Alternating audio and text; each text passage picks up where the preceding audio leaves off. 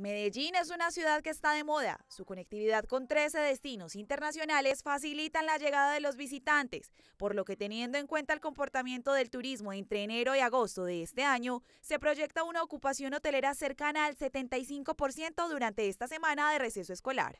Para esto trabajamos con todo el ecosistema turístico de la ciudad, gremios, prestadores de servicios turísticos, alojamientos, guías de turismo, operadores de turismo para generar experiencias memorables en nuestra ciudad. Se calcula una derrama económica de 11 millones de dólares por los gastos de los turistas durante esta semana de receso en Medellín. Trabajando de manera articulada en procesos de cultura turística que garanticen que todos los visitantes tengan una experiencia en nuestra ciudad y que todos los habitantes puedan referenciar y contar cuáles son esos planes imperdibles que tiene Medellín.